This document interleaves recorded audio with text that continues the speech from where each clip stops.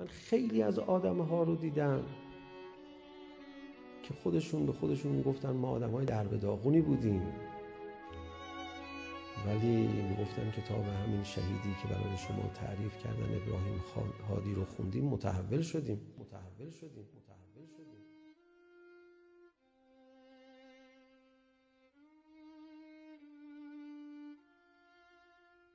بچه هایی که می‌رفتن جبهه خیلی هاشون از اول حاضر به شهادت نبودن. بعد می‌رفتن کم کم دلشون می‌رفت. کم کم دلشون می‌رفت. و بعضی ها دلشون خیلی می‌رفت. شهید ابراهیم هادی کسی بود که دلش خیلی رفته بود. از جلوی خاکریز دشمن حرکت می‌کرد. چون مشی داشت. چه نوری میپراکند پشت سر خودش. لشکر دشمن میآمد این ور تسلیم می‌شد.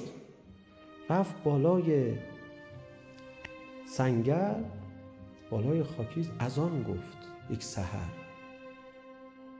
تو از آن گفتن یکی از سربازان دشمن به او تیر زد دستش تیر خورد.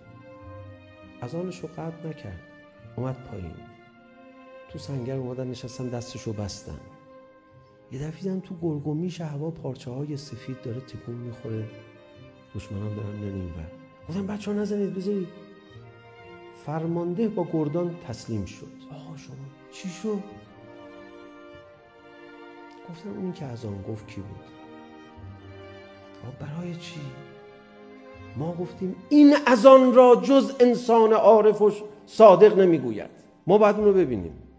گفتن حالا اون تو سنگر تیر خورد. گفتن آره می‌دونیم. من می‌خوام برم از خودش یه سوالی بکنم.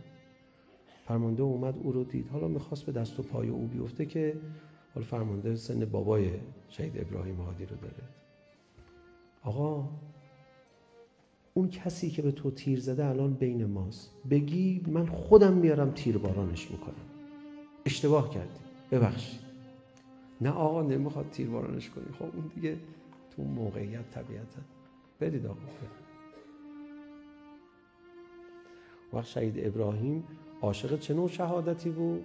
وقتی شنید شهیدی در خوابی به کسی گفته بود چرا بدن من رو عقب آوردید تا وقتی بدنم عقب نبود اونجا هر شب فاطمه زهرا به بالین من می آمد یه لبخندی ابراهیم هادی زد.